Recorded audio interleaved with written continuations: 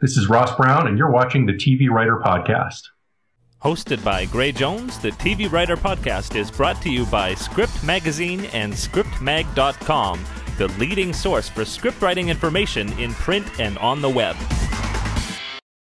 My name's Gray Jones, and I want to welcome you to the TV Writer Podcast, episode 47 for Monday, January 16th, 2012. Happy New Year to you. Hope you're doing well. Well, today I have an interview with writer, author, producer, and professor Ross Brown, who just happens to be the author of Byte Sized Television Create Your Own Series for the Internet. And I know that a lot of us have been interested in creating our own content or series for the Internet, and you're going to love this interview. Speaking about the internet, one of our news items this, this week is I do want to apologize because over the last week there have been some issues with the podcast websites, and that's because the server that hosts the webs, websites was hit by a malicious attack a little over a week ago.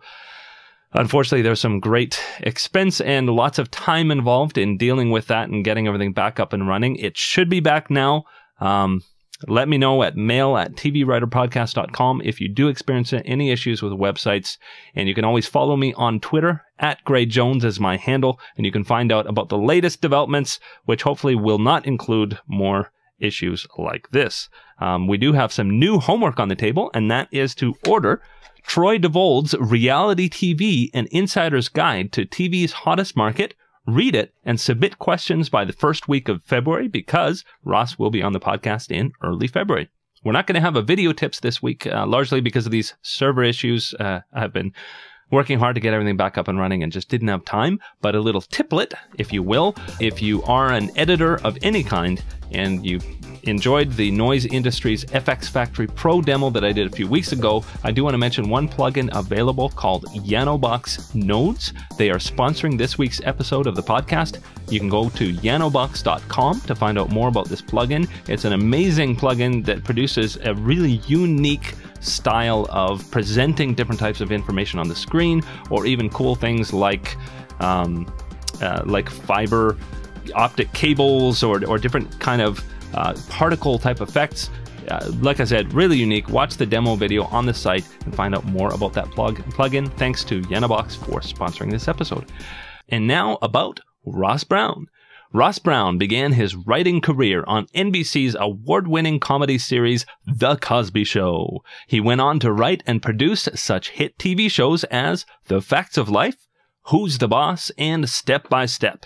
He has created primetime series for ABC, CBS, and the WB.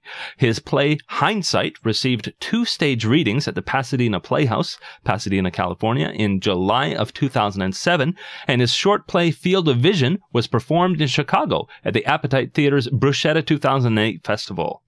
He is an assistant professor of film and media arts at Chapman University in Orange, California, where he developed a series of cutting edge courses on creating TV series for the internet.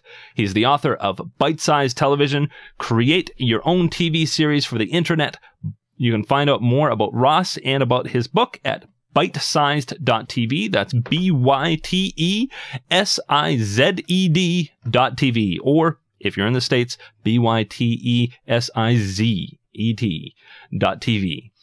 Speaking about web series, I wanted to give you a little more info on one we discussed in the interview, The Chocolate Tourist, which is created, produced, and written by podcast viewer Courtney Matz. It's a great example of how you can do a reality-based web series.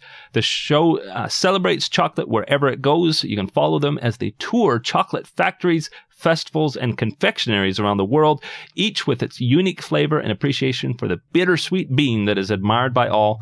Who doesn't like chocolate? You can get five episodes at thechocolatetourist.tv, new episodes in February, and you can follow Courtney on Twitter at Courtney Writes, C O R T N E Y Writes. And speaking about rights for the internet, let's go to my interview with Ross Brown. Enjoy. This is great, and I'm here with writer, author, producer, and professor Ross Brown. How you doing, Ross? Great, Graham. How are you? I'm doing very, very well, thanks. And uh, I appreciate you coming on in full video. We don't always have that treat, and so it's great that uh, you're able to share with us in that way. And uh, you are the author of Byte Size Television. I am. And we will talk your, about your book. Uh, I know that everybody is talking about doing a web series, and uh, and so I appreciate uh, your wisdom. But first, I want to hear. I mean, okay, this this is a very personal thing for me because, and I'm dating myself a little bit, but Okay. I loved every single series that you worked on. yes, as one of one of my students once said, "You're like a Nick at Nite classic with It- your credits." Oh, oh, I, I, I mean, even going back to, and I know you, you said that um, in your bio that you got started with the Cosby Show, but I know that you worked on Webster as well, and I even watched that show. Webster was actually my first professional writing assignment there. I wrote an episode in the sec, a freelance episode in the second season of Webster, and then went to the Cosby Show after that. And uh, you know, you got them in front of you, but for your uh, viewers, listeners, there went on to the Facts of Life. There, Mhm. I'm I am the person who is responsible for uh, deflowering Natalie in a literary sense on the Facts of Life. um, there, and then uh, I worked at a company called Miller Boyett for a bunch of years, which was at Warner Brothers, and they did a lot of the what was called the TGIF programming on ABC. hmm Ah, ignore my telephone ringing in the background. Yeah, that's that's okay. Actually, I gotta I gotta kill mine as well. But and then who's the boss and a whole bunch of other stuff. But why don't you tell me? Um, how? Uh, so you said your your first credit was a freelance episode of Webster, but how did you get started? Like, uh, like did you go to, to film school, or or were you wanting to write as a kid? Um, and how how do you how did you bridge that gap from wanting to get there and getting there? Sure. I, I didn't go to film school. Uh, film schools were pretty rare when I went to college there. I went to UC Berkeley and was a journalism student, Hmm. uh, but never became a journalist. Um, I just, uh, I got interested in film when I was in college, and my uh, entry point was that my father was in advertising. So I started doing TV commercials, and I, I my classic story is I started literally at the bottom. One of my first jobs making a TV commercial was I stood in for a dog in a Oh. dog food commercial You stood in for a dog. on my hands and knees, uh, snout near the bowl, because it was cheaper to hire me than to, than to hire a second dog, which would have required a second union animal handler. Oh my goodness.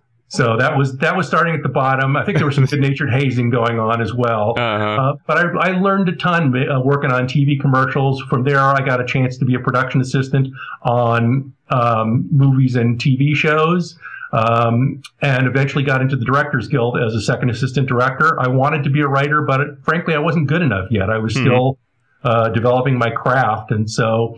I wrote spec scripts on the weekend and uh, uh, had a great chance to learn about the business from the production end. Uh, worked on some very good movies as a second assistant director. Worked on uh, the first National Lampoon's Vacation movie wow. and Private Benjamin, and uh, then a bunch of movies you've never heard of that were obscure. But I really enjoyed it, and eventually I got good enough to get an agent, and Mhm. so I, uh, I I got an agent, and the agent uh, sent my spec script out. It was a spec Cheers, uh, and a few months into it, uh, he called me and said, "I got great news. There's this new show that Bill Cosby's doing, and." Uh, they like your spec script and they want to hire you, but it means you have to go to New York. Wow. And I said, I can't do that. I lived in California. I had been out of town as an assistant director the uh, previous year for four months while my wife was pregnant and we had Oh, an eight year old. And I just would have destroyed my marriage. And so I turned the job down. This is two weeks before Cosby premieres. Oh and- my. My wife's uncle, who had helped me find the agents and was a CBS executive, said to me, You know what? You're better off. The show's in a terrible time slot. It's against Magnum PI. It's probably not going to last more than 13 weeks. Oh my goodness.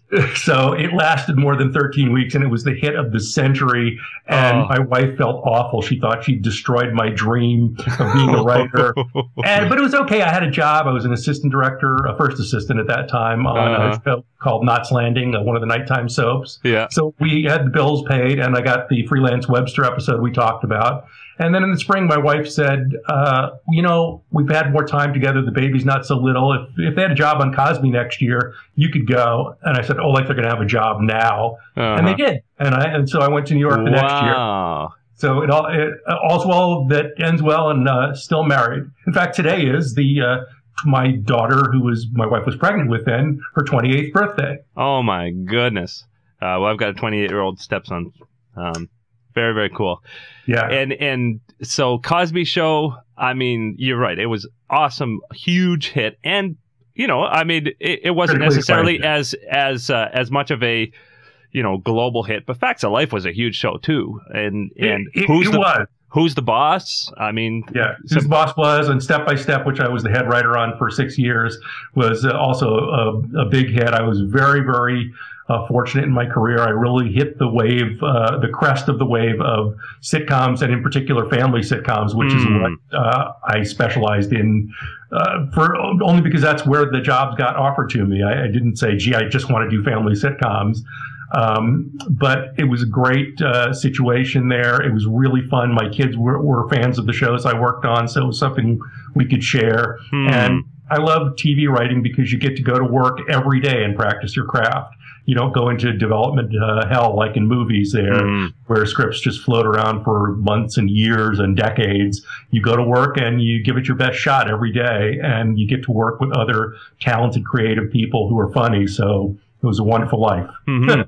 and and now speaking of development, though, you created a number of series. I mean, you created Living Doll, you uh, Living Dolls, you created Kirk. You've also done a huge number of pilots, like uh, for Meego and and a bunch of others. Yeah, it was uh, it was a great thing. Uh, I you know once again I had a particular skill that was in demand when the, in the days when the networks had what they called eight o'clock shows and nine o'clock shows. I was Mhm.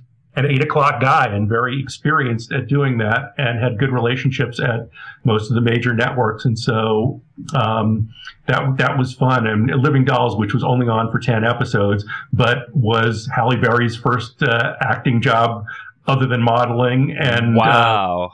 Leah Remini was one of the other uh, teenage models in it who became the wife on the King of Queens and has a uh, daytime talk show now, or one of the hosts of a daytime talk show now. And so we we found some pretty good young talent there. The show didn't last, but uh, you know that's TV. If they if they knew what would work every time, they'd have nothing but top ten shows. yeah. Oh, that's don't. for sure. That's for sure. And so, it now tell me, at what point did you start teaching? Uh, I started teaching in the late '90s. There, I, I, the the handwriting was sort of on the wall about what was happening with family, with sitcoms in general, and especially family sitcoms. And um, I could that world was closing down. It's kind of opened back up now, ten years or so later. Mhm. But um, but I was I'd always been interested in teaching, so I it was a complete fluke. I, we had dinner with another couple. Uh, the woman had been a writer on my on Step by Step, Mhm. and and I knew she had taught at uh, a college in Southern California, Cal State University, Northridge. Mhm. And I said, "So how did you get that job?" And she said, "Oh, your your timing is unbelievable. They've been calling me this week. I can't teach this year, and they're desperate for somebody to teach the comedy writing class." Oh, so wow. that was Sunday night. I called on Monday. By noon on Monday, they said, "Yeah, you come on, come teach the class later this week." And so I started teaching, and I really enjoyed it. It was uh, it was kind of very akin to being a head writer and nurturing younger writers and Hmm. mentoring them. And so I could translate a lot of those skills that I had uh, from the writer's room and from my professional writing career into the teaching setting. So I really enjoyed it. And then I got an opportunity to teach at uh, USC, which is, you know, a big, well-known film school. And um, then got a chance to teach where I teach full-time now at Chapman University, which is uh, in Orange County near Disneyland in Southern California. Mhm. And the dean came to me when I was a part timer and said, "We we're interested in hiring you full time, but you gotta you gotta go get an MFA. We, well, you know, we, we can't hire you with just a bachelor's degree." Really? Yeah, and so I, I sort of grudgingly said, "Oh, okay, I'll go." And my wife said, "No, you should go. It'll be great." And it turned out to be this like life changing experience. And I went to this what's called a low residency MFA program, so you're only physically on the campus twice a year for eight days, and then you have traditional 15 week semesters where you mail your work in every three weeks, Mhm. and your advisor slash mentor gives you written feedback on it. And it, you know, it would be terrible for production. You can't do a production degree that way, but it was a creative writing degree, so it made perfect sense. You can read and write and have a personal exchange. And it was really fantastic. I was so grateful to go there, not just to get the degree, but it opened my writing horizons. I started um, writing plays, which I also do now and enjoy that very much. I, I was kind of a theater dunce. I had never read um, Eugene O'Neill or Tennessee Williams. And so my advisor said, well, you, got to read them too. You can't just read screenplays. And so, you know, I read them and go, hey, these guys are pretty good. yeah, there's a reason why Eugene O'Neill won four Pulitzer Prizes. He's Yeah. a really good writer, and it made me a better television writer, made me a better writer in general, and really just broadened my horizons. And uh, true to his word, the dean then hired me full time at Chapman um, in the film school there and said, help us expand our uh, narrative television program. We've got broadcast journalism, but we don't really have comedies and dramas. So along with my colleague James Gardner, who's a director and producer, mm-hmm. we've been doing that. And so now we, um, that's where the, that's actually where the, the book came out of the courses at Chapman University. Mm-hmm. Uh, the dean at uh, the film school at Chapman University came to me uh, in the fall of 2006 and said, could you put together an experimental class on like making videos for iPods? And so there wasn't even a terminology for any of this yet. Yeah. YouTube had started, but wasn't part of the vernacular quite yet. And so uh, I said, well, I've been thinking along the same lines there, and I have this idea for a class called Bite-Sized Television, uh, where they make a pilot for web series. And so I did it, and I um, tried to find a book to, you know, give to assign to my students, and there weren't any, and mm-hmm. I couldn't and I, I, really had to struggle just to find examples um, of the the form uh, online. Uh, it just it, it exploded that quickly. You know, by the next year there were thousands of examples there, mm-hmm. but it really took off. And and um, and then uh, a publisher got interested uh, in the idea and said, "Would you be interested in writing a book on this?" So I did, and that's uh, the genesis of uh, byte-sized television. And you know, my students are Im- incredible. They're really creative. Uh, I find there's no shortage of creativity out there. There is uh, a need for craft, and mm-hmm. that's what they instruction in. They they're they're still developing the the the craft and the skills necessary to translate their ideas to finished video projects. Mm-hmm. Uh, so, so that's been the journey there, and now we've gone beyond the, the even the web series and make uh, two full-length half-hour pilots, uh, single camera, um, every year at the school, and they, have been quite good. One of them is actually getting developed into an hour drama uh, with a you know a real Hollywood producer and all of that. Wow, so great for well, the students. Well, that that is what, what struck me, and, I, and of course, I mean, I I went through film school and, and we did our, our short films and in film school. Now this was back when we were actually shooting on film, early early '90s. But um, but I, I know that going through all of the pre-production, production, post-production um, was it was just a key, a, place to make our mistakes and figure out what worked and what didn't work. And obviously, I love what's what's happening now, where you can literally shoot high definition with a $400 camcorder and edit it on free software that you get for your computer. You can post it so easily. Um, but what struck me as I was reading your your book was that the process for a web series is very very similar to the process for a TV series. It's just smaller with a lot less responsibility, and you can make those mistakes. Well, that's that's absolutely right, and that's I mean from a academic perspective, that's where we position the courses there. There are intermediate level production courses to give the students a chance to make mistakes, but we also use them to teach them what a series is about and how you develop the uh, concept and the characters from week to week and learn each week. I also think the other thing that's fantastic about this uh, inexpensive video and web series for writers is they get a chance to see their work actually on screen and they become better writers then. You know, you learn an awful lot when you see uh, the, the, that speech that you thought was just wonderful and you see it filmed and go, good lord, that's interminable. How did mm. somebody stop me from writing those speeches that long? Or, you know, why is this scene two pages? I, I got what was going on a page ago. You, you really learn as a, how to be a better screenwriter by seeing the work on screen. Mm. And, and also I know for, um, I mean, I think any TV writer could benefit from doing web series, um, in the economy. I mean, the fact that you you right. have to tell a complete beginning, middle, and ending in at most twelve minutes. Oh yeah, and I, I find with my students' projects, the the scripts start out being six minutes, and they shoot that, and then we're editing down to four minutes, almost yeah. or three, almost all the time. That you need to be economical. I mean, there there's some wonderful things out there. I don't know if you've seen five second films. Uh, no. Oh, you can go to YouTube and check out five second films. I think it's the the, the numeral five dash mm-hmm. and then second film spelled out in letters. And that's what they do. They do. There's a two minute main title or two second main title, five seconds of content, and a one second end credit there. And and they they're just they're jokes, but they yeah. find a very funny way to do it. There was one that was just a shot of a guy um, taping up a poster on a telephone pole that said "Lost Stapler."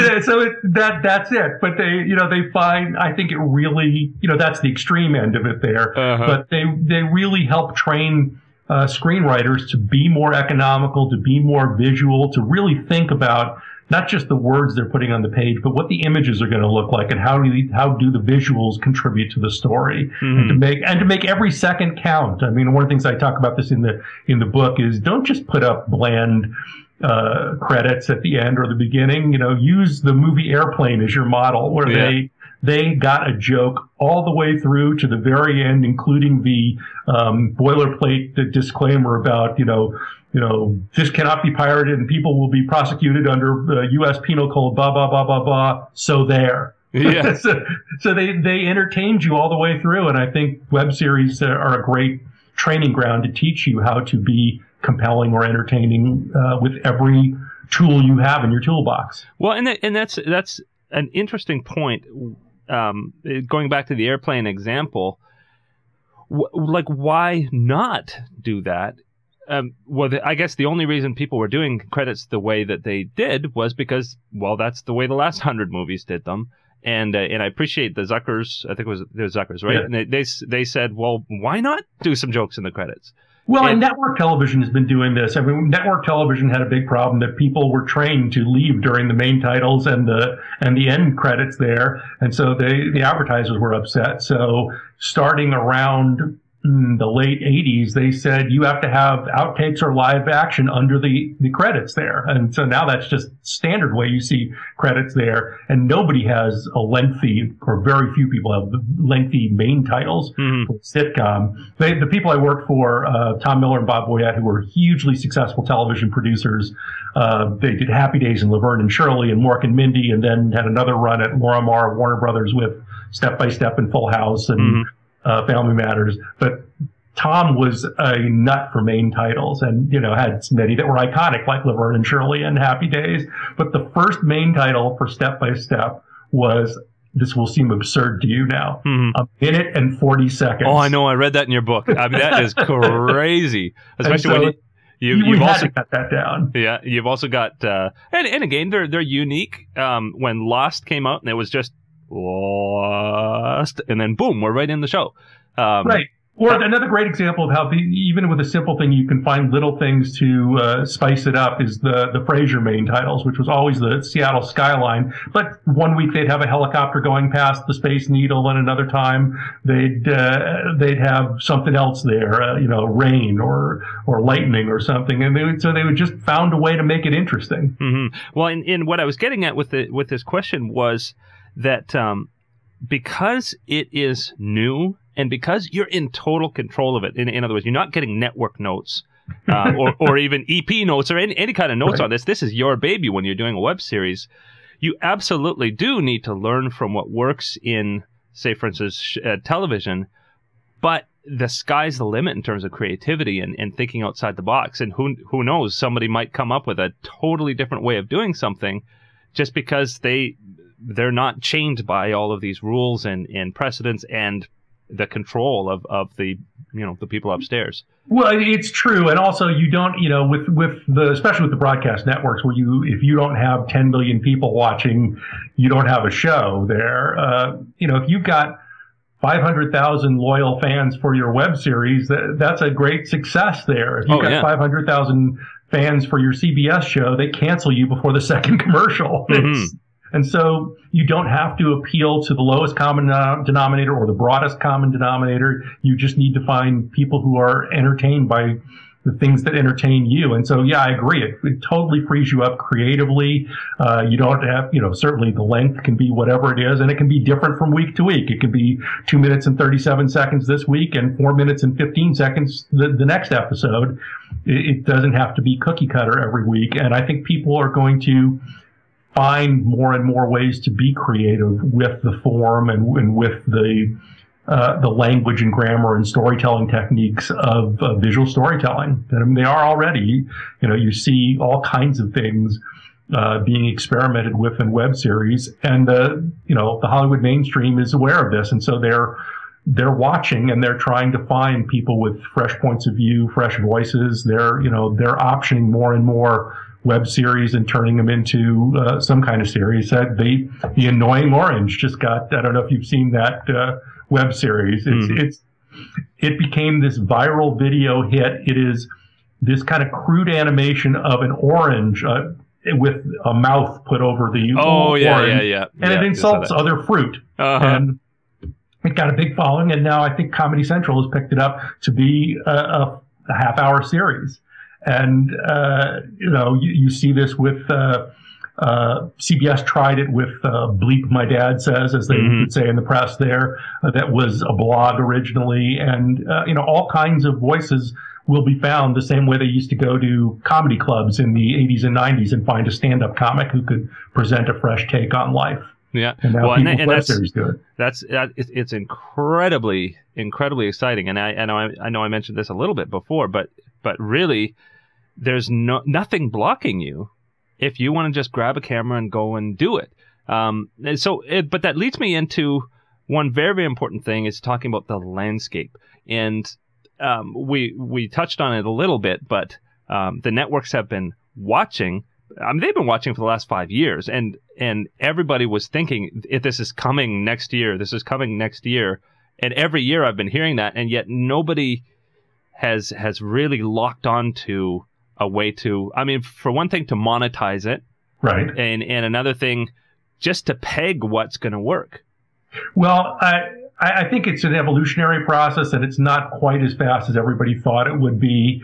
Um, you know, a lot of people in the book industry thought that, that once the internet was here, everybody would just self-publish. But of course, people have to find the work and know about it there. My, my own personal opinion is that, that the day is coming soon and, um, and the, the key thing for me, the tipping point, in my opinion, is when it's common that everybody has internet access on their flat screen TV, mm. uh, so that your viewing experience is merged there. That you're not well, making a choice between should I sit at my computer and look at online videos, or should I go watch uh, cable television or dish or whatever. Mm. That you know, I just uh, I, for a guy who writes about uh, web series, I'm considerably behind the tech curve and just got my first flat screen TV uh, this holiday season yeah. and was just amazed at, you know, the guy comes and we got uh, fiber optic in our house too. And he, and he shows me, so you go here and this is to the internet and this is to Pandora and this is uh,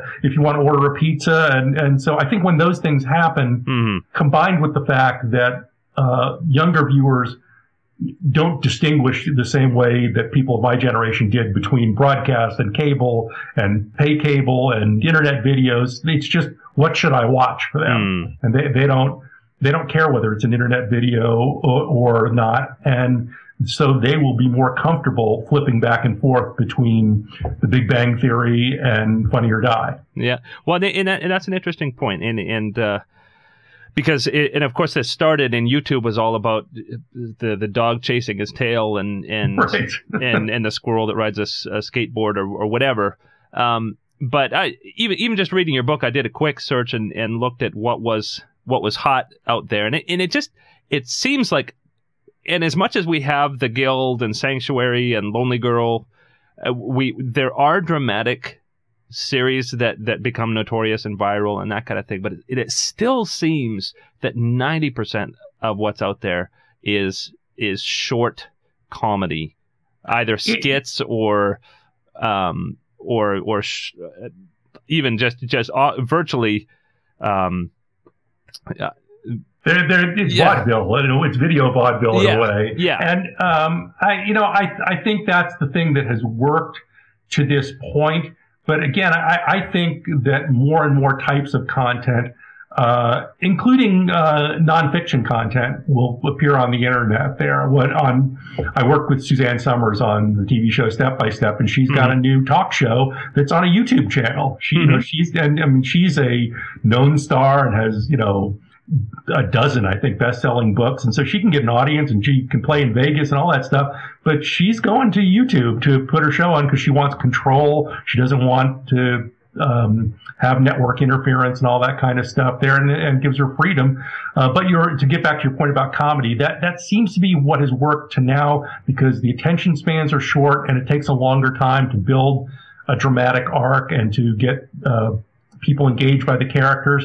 But I think that will happen over time. Mm-hmm. I, I, really do because again, I think as you you don't want to watch something that's 15 minutes on your laptop necessarily or your iPad. But if you're in front of, you're watching your big screen TV and it becomes less um, of a, a seeming commitment to say, sure, I'll put 15 minutes in to watch this uh, internet uh, drama series here mm. because you're comfortable, you're on your couch, it's the big screen, you're used to watching things at that length on that device. Yeah. And so, you know, now, you know, I, I ask my students frequently when we talk about length and say, ask yourself this question. When you see big choices of videos to click on, what's the number where you automatically say no i'm not going to watch that mm. in hmm. terms of length and and pretty much everybody has a number in their head yeah because because they're trained to watching it on smaller devices now. But I think that's going to change as larger devices come in, as it becomes uh, more common to monetize uh, products through uh, um, advertising, uh, revenue sharing, and, and, all of that, mm-hmm. and also because the advertisers themselves are now making web series because they've been cut off from the traditional avenues of getting people to know about their product. People mm. have hmm. DVRs, people have ways to get around 30 second ads on TV. So now the Fortune 500 companies are getting into the web series game themselves, making what they call advertainment or branded uh, entertainment. And uh, some of it is really entertaining. I mean, yeah. The, the, the best example I can think of right now is the uh, the buff uh, African American guy who's the Old Spice guy. Oh yeah, Isaiah Mustafa. Right, he's fantastic. Yeah. It's a it's a great thing. But you know, once again, uh, they talk about this in the book. It's about the character. His character is just a great character. He's got a funny attitude of you know look at your man. Now look at me. Now look at him. Now look yeah. at me. Now he doesn't look like me, does he? But he can smell like me. You know, it's a great, it's a great yeah. character, and yeah. it makes you want to, uh, you know, watch it. And people will voluntarily go to the internet and watch these videos. And so, you know, there's going to be more and more content there. Um, again, they're relying on comedy, as you point out there, but somebody's going to somebody's going to figure out the drama thing. I mean, mm. somebody always does. My my friend Joel Surnow, who's one of the 24 creators, yeah. Uh, essentially, what he did with that show was he figured out how to do a thriller on television. Yeah. That that you know, and and he did it incredibly well. And so, you know, that happened. And he said that show could not have existed if there weren't cell phones. Yeah. So can you imagine Jack Bauer has to pull over to a payphone every 10 seconds? I mean, that, you can't do the show. And so, yeah as technology develops and society develops, you know, the, the storytelling develop, develops now. And, uh, and so I, I, think somebody will figure out how to do dramas eh, that are compelling and have an audience and can be monetized on the web. Well, and I do think as much as as much as people have been saying this is going to happen next year and then doesn't, this is going to happen next year and it doesn't. But at the same time, um, there are certain realities. Like uh, the the comparison I would make is is the chairs at McDonald's are designed so that you hit about 15 or 20 minutes and they become uncomfortable and you want to leave. and, yeah. And and sitting at your computer, it's there are so many other things vying for your attention. You've got your Twitter open, you've got your email that that maybe it's set to ping every 5 minutes when there's a new email or or that kind of thing and you can you can start watching something 5 minutes later you got a ping of something else pulling you away um, and so there, it's designed in such a way to either multitask, which doesn't actually exist, but we think it does, um, or or else you're you're focused on something for a short period of time, and then you move to somewhere else. Whereas when I sit down into my my couch chair, I'm annoyed if something pulls my attention in five minutes. no, seriously, like I, I, like, I, am too. I am too. Although I would say my students uh, when they're on their couch watching the TV, still have their cell phone there or their iPad or whatever. I mean, if, if I say to the class, okay, I want everybody's undivided attention, close your laptops. After about 90 seconds, they look like I've asked them to stand there when they need to go to the bathroom. And the bathroom. they, they, are just so uncomfortable. They, they, look, uh, really? Is there something that you have to know in the next 90 seconds? Uh-huh. And, but that's the world that they, they live in. They're, they're used to having that kind of, uh, connectivity and constant, uh, stimulation. I, as a either as an instructor or as an old guy, one of the two there, I worry that their writing skills will diminish because they can't get it quiet enough to fully commit to immersing in the world of the story they're trying mm. to hmm. create when they're when they're writing their scripts that they're they're they're writing the way they view and so they don't follow it through. I mean that may be also why we're not seeing as many complex dramas is, is mm. that, that quiet and concentration too. yeah yeah could could very well be now um, one thing I, I do want to mention before we get to some viewer questions is uh, in your book you primarily focused on um, setting up a, a, a narrative a, a, dramatic series um, because in in television reality TV is a massive juggernaut um, I think we probably should mention for a second um, creating a web series that's reality based like say, for oh, instance, uh, one one viewer of the podcast does a, a, series called The Chocolate Tourist, and she set up something that could easily work on on a lifestyle channel, uh, but in a short form on the internet. And uh, and I think there is also a huge opportunity for that kind of thing.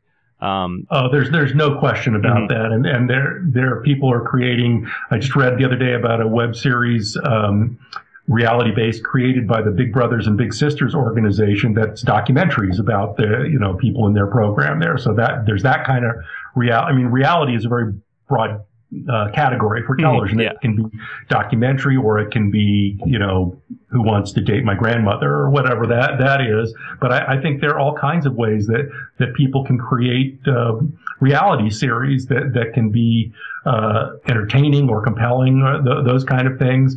Um, and I think that, that if that's your inclination, I remember when I was writing the book, I read about a guy who, uh, did essentially a celebrity dish program called, his name was Michael Buckman or something like that. Mm-hmm. So he did a show called What the Buck. And it was just him in front of a curtain with a light from Home Depot. Yeah. And he would dish on celebrities, but he was really funny. And so, you know, it can be that simple from a production perspective if the content is interesting or entertaining or, or whatever. But yeah, I think reality, uh, is a huge category for web series there, and it, it's they really fit together very well because you know it, it, then ties into your social media and social networking and all of that, and so people who are uh, interested in the same kinds of things can form a community. Mm. Uh, I in my in my non-writing time, I'm an amateur uh, acoustic guitar player, so I go to this uh, site called the Acoustic Guitar Forum, and it's just I find it hugely entertaining because uh, guys will go on there and they're all they all talk about uh, GAS, which is GAS, Guitar Acquisition Syndrome, because people uh-huh. always want a bit bigger, better, newer, but they they refer to keepers then. And then one guy posted, I'm currently dating a Martin D28. and so I just find this entertaining. But I think things like that you could make if you're interested in acoustic guitar. You could make a reality series uh, in short form about local musicians and just, you know, see who's out there making interesting music. And, you know, any topic you're interested in is a candidate for a reality web series. And, and, uh, and that brings up another huge, huge point, which is that, um, and the network TV has experimented with this, having an online component to their shows. Mm-hmm. Um, I find it really fascinating. Say, for instance, when Lost decided that they were going to release episodes for free online, um, everybody thought, well, this is going to take away from your viewership. It actually increased their viewership, and yeah. um, and I think it's it's because of that network thing. When when somebody sees something at online, they're at their computer, they're talking to their friends about it. Hey, look, I'm going to watch this online now and that goes on the Twitter out to 500 people or or whatever. Um, and I think when people do a a web and, and and and the reason I mention this is this is primarily a TV writing podcast, so people who want to break into television um, are are watching the podcast.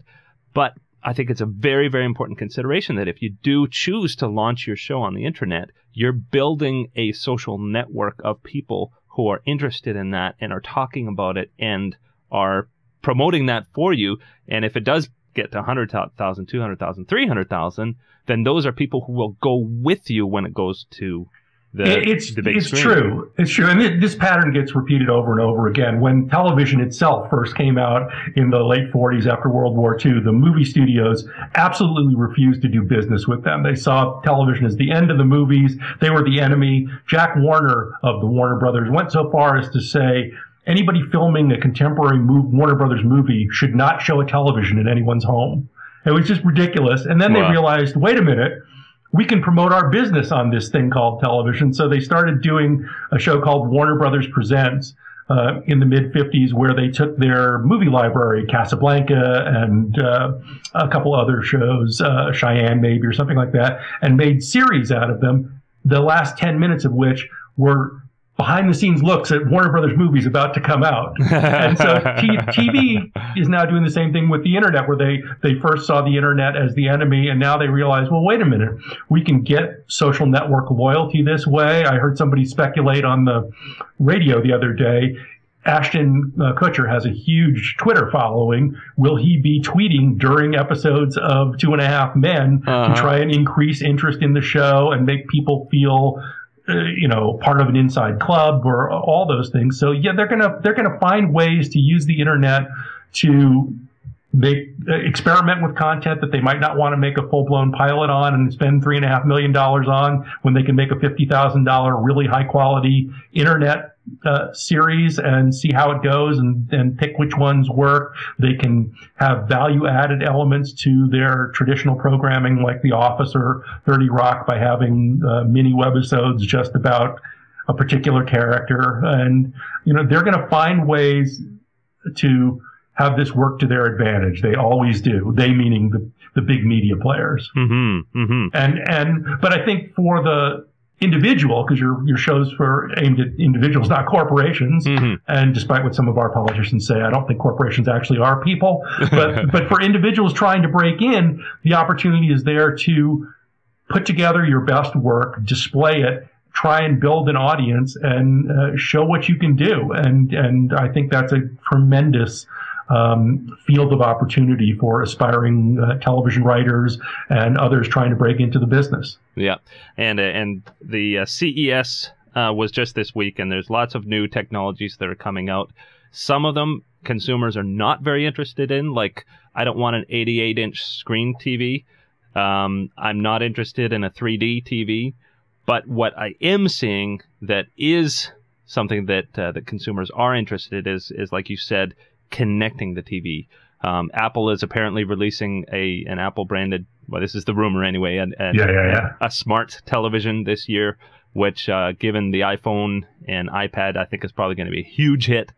Um, Samsung has a smart TV coming out, and and so this is now something that I I think as much as five years ago, if somebody said this is happening next year, that was not a very true thing that you could say. But right now, I think we could say within three to five years, we're all going to have our inter- internet on the TV. I, I agree with that, and I think that's going to really um, uh, exponentially increase the amount of content and the amount of high quality content that there is in short uh, webisode forms. Talk, another reality example. You talked about the Consumer Electronics Show. Mhm. One of my former students um, hosts a weekly. Uh, podcast called Tech Foolery, where she and a, and, a guy talk about the latest tech developments there. Mhm. And so, you know, here's someone who wants to be an on-camera person and has an opportunity to, to do that without getting permission from CBS or uh, even a cable channel there. She's just found a way to do this and, you know, it is now, you can see her career developing that way. And I think the same thing will be true for all categories, for writers, for directors, for cinematographers, that there are ways to do this.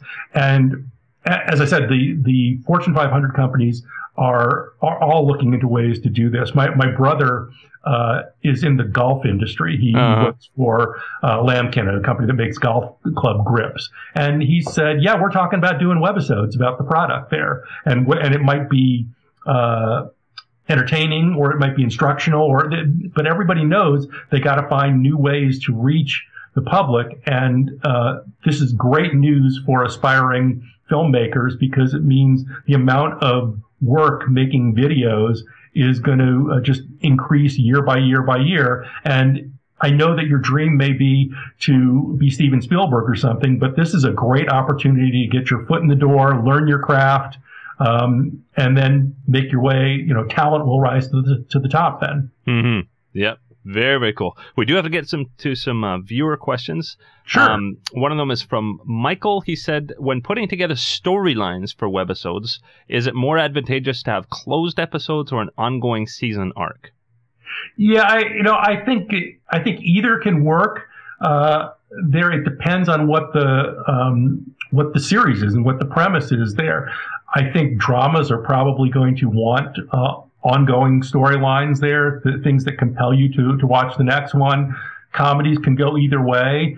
Most network television now has some uh, hybrid of that, some closed end storytelling as well as ongoing storytelling. Um, I think you, uh, I think it can be challenging to have an ongoing storyline in very short episodes Hmm. because then, then you get burdened by that.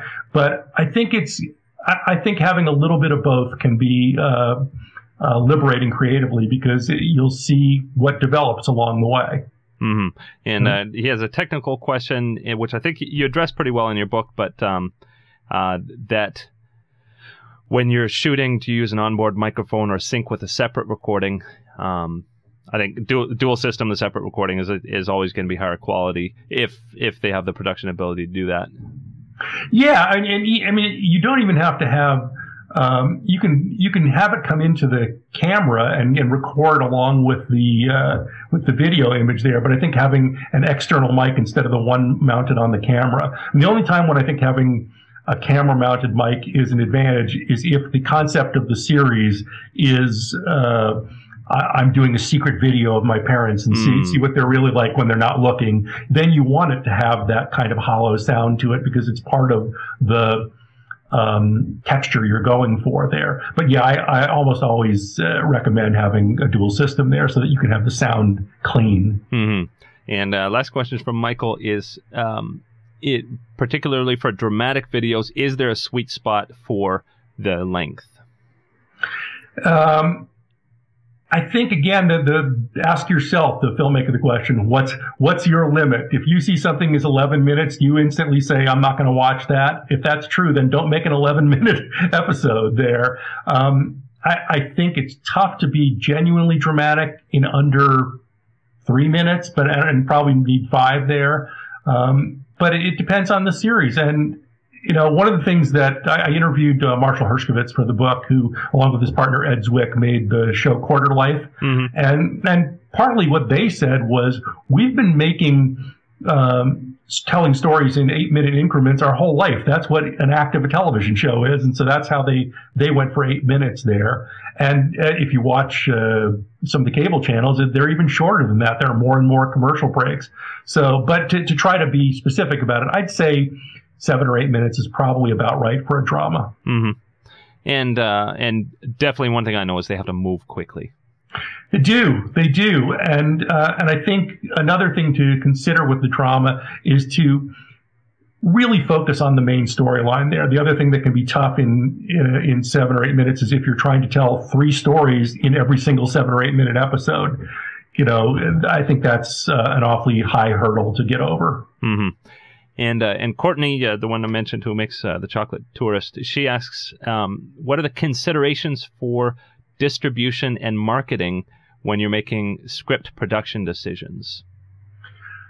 Uh, it's an interesting question there. I mean, I, I think you should have some sort of uh, marketing plan, and you should, you know, it's like with everything else, know your audience. You know, know, you know. So if she's making the chocolate tourist, where where are the chocoholics online? Where you know, where do they go? And so, um, i if you can uh, create uh, something on YouTube uh, with a YouTube channel, that that might be great. I mean, I, in most cases, I think YouTube's your uh, first choice for a stop there because everybody knows what it is. It's sort of like Kleenex now. People don't say tissue; they Mhm. say they say Kleenex, and people you know don't say a video hosting site that often. They say YouTube, Mhm. even though they know what Vimeo is and they know what a few other places are there. But it's it's high quality. They, you know, you shouldn't have to pay for the servers. They do all that kind of stuff.